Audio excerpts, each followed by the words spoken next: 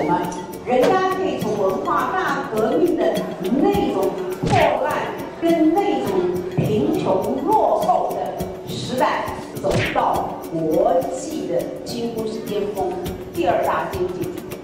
所以美国想尽办法要掐死中华民族，不能够兴起啊！尤其从这一次的事件，我真的是看得清清楚楚，美国是一个什么样的国家。现在所谓的中华文化复兴在对岸呐，我们这边在去中国化呀。我们的下一代的未来在哪里？我们忘掉我们的根呢，忘记了我们的本呐。共产党为什么那么不争气呢？有很多人做到了那个立法院也好，做到了部会首长也好，做到了行政院长也好，越来越嚣张，越来越不知道自己是个什么东西。看到这个局面，有说不出来的心里的苦，有些事情又没有办法做，所以难免呢，在脸书上写写自己的感想。我跟大家讲，会被骂，这叫一四五零出征啊。他一定是骂你的，包括这一次在北京办的冬奥冬奥活动，因为他们全台湾只请我这一位所谓的政治人物去参加，得代表台湾去参加。参加完冬奥，其实我们看到人家的进步，人家的团结，跟人家的一切周详的准备，你只能说。非常非常的佩服，瞠目结舌，觉得很多地方值得我们感到惭愧。我说我坐在那个贵宾席的台上，我心里的感觉八个字，叫做五味杂陈，百感交集。为什么当年啊，在当年，尤其各位从海外回来定住在台湾，当年。我们是一个什么样的状况？时间过得很快，二三十年，晃眼眨个眼就过去。可是为什么人家可以从文化大革命的那种破烂跟那种贫穷落后的时代，同样的时间，人家今天走到国际的几乎是巅峰，第二大经济体。所以美国想尽办法要掐死中华民族，不能够兴起啊！是美国人是绝对不容许亚洲或者任何一个国家，德国要起来把德国干掉，日本要起来把日本干掉，他绝对认为自己是第一大强国。尤其从这一次的事件，我真的是看清了这个，看得清清楚楚，美国是一个什么样的国家。如果我们今天，对于两岸的关系看不清楚，对台湾的处境看不清楚，对我们的未来看不清楚，我跟各位报告，我们就没有未来。今天各位在座的，我们都是有相当的年龄了，好像年轻的不多。我其实非常替我们年轻一代忧心，所以今天我虽然是半退休。我还是讲我该讲的话，做我该做的事情。我一再的强调，中国国民党是一个创造中华民国的政党，在中华民国的一个建国的历史上，有它非常傲人的、非常足以自豪，而且有它的一个理念中心思想的。可是为什么到了今天？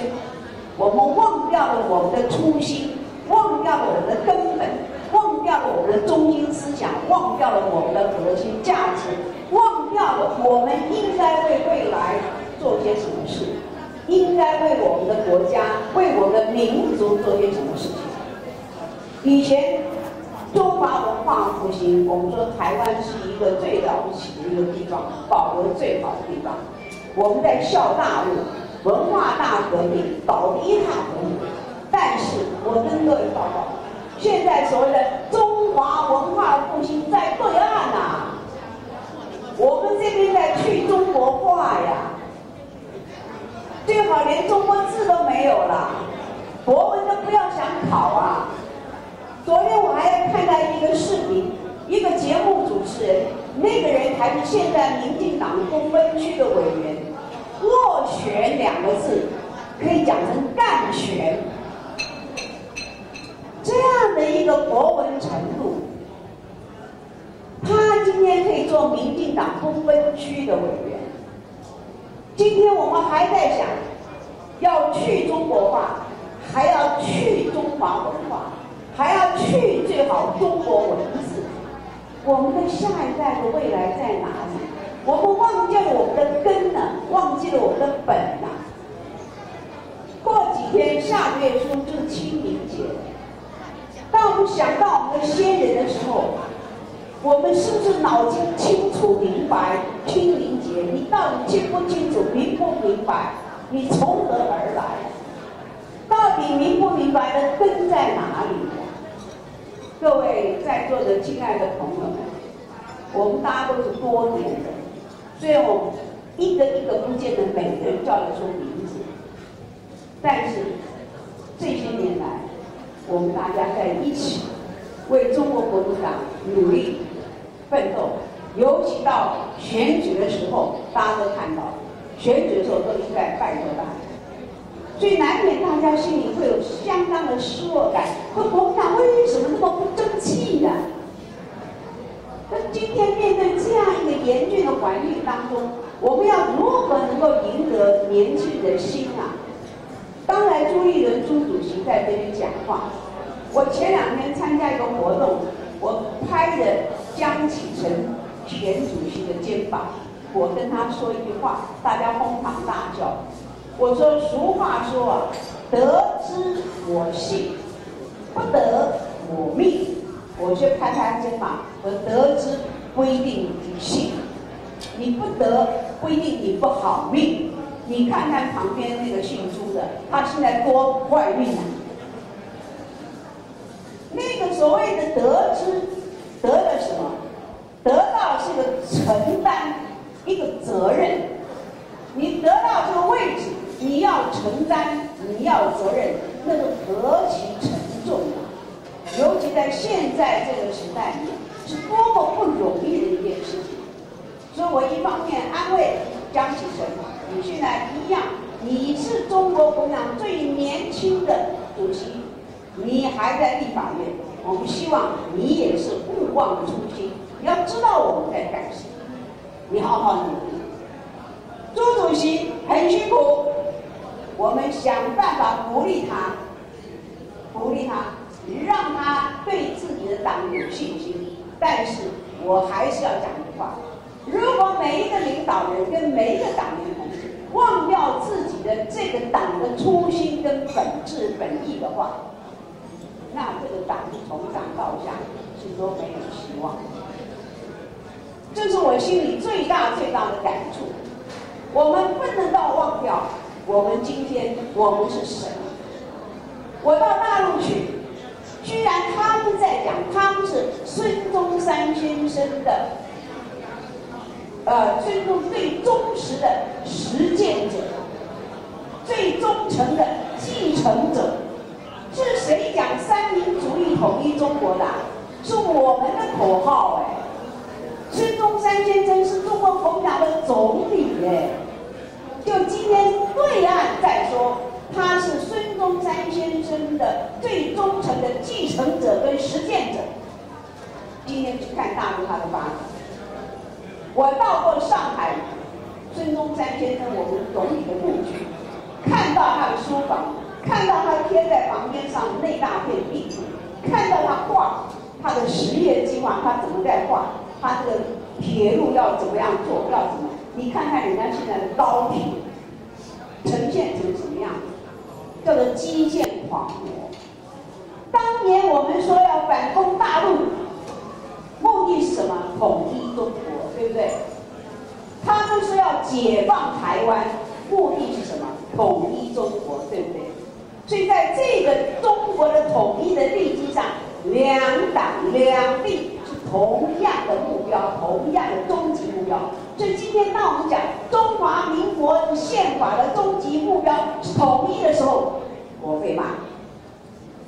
我从冬奥回来，告诉大家人家的进步，我被骂。我变成了内奸。各位情何以堪？看看别人，想想自己。所以我在这边很诚挚的拜托我们各位在座的所有的我们的归侨朋友，当初你们为了台湾这块土地上，为了真正追求民主、自由、人权，你觉得自己三民主义的模范生，所以回到了我们认为这个祖国中华民国是我们的。回到这个地方，我们有共同的理想，但是几十年过去，我们都垂垂老矣了。今天包括我个人在内，真是垂垂老矣。但是我们还是尽我们的余生，为我们自己的一个理想、国家的理想，我们该讲的话还是要讲。今天陈奕迅委员在这边。我非常喜欢，他不要说肚子里有没有过了，绝对有过了，就去念书念了那么多。但是我也常常鼓励他，不要忘掉，有很多人拿到了这个位置，做到了那个立法院也好，做到了工会首长也好，做到了行政院长也好，越来？越嚣张，越来？越不知道自己是个什么东西。那么道理。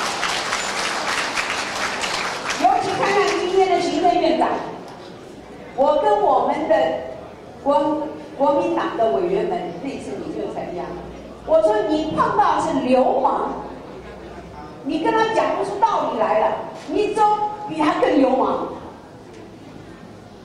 你要跟他讲斯文，你要跟他讲君子，你要跟他讲礼义廉耻，他说礼义廉耻党国云也，他连礼义廉耻都不要了，这他妈民主党人自己讲。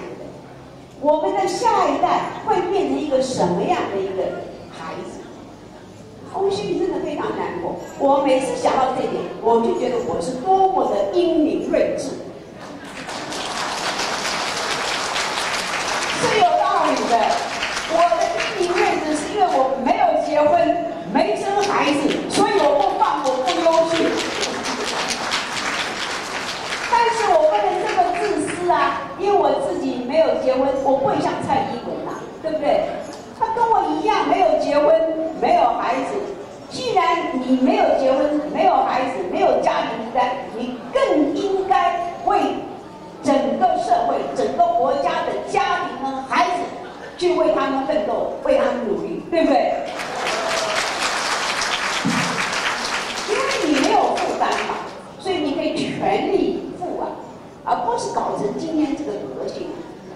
所以陈奕迅，他做了不分区，我一再跟他讲，他在台南，因为上次到台南去选，所以很遗憾。我虽然勇气可嘉，士气也提升，但是啊，很多很多的因素，还是打不过那个八千寒岁的人。你们知道八千寒税什么意思吗？就，知不知道？那个姓王的。明明立法院有宿舍可以住啊，他不住啊，他还去跟人家租房子啊。那个整个房子里面其实只有一个套房啊，只有一套卫浴设备啊。他说他住在是另外客房里面啊，洗澡都要到人家主卧室去。他说一个月是八千块钱，我们八千含税啊，你们就知道那个税的意思是什么意思了。所以居然居然这样的人，异性啊！你既然你没有办法选台南市长，我是鼓励他选台南市长。我认为他虽然是很好的委员，但是他的知名度还不够。就是说你要创造全国性的知名度，我才要鼓励他选台南市长。既然经过协调，有另外那位谢龙介出来，好，我希望他能一嘴打天下哈，他那个那个嘴不会讲话的啊。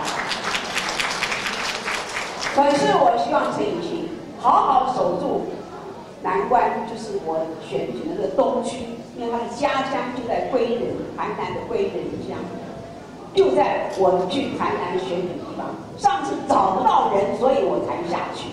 我说你好好的，我是那个四个月的准备时间呢，都还不到，我就下去了。我也是勇气可嘉，真的勇气可嘉。拼了老命，这你还有时间长哦。你若选不好哈，我我打你再打你屁股，我告诉你，我不断的在在他身上施压，只有很沉重的压力才能够激发他的潜能，没有压力，没有责任，就不能够激发他的潜能，就我们给他压力，给他责任。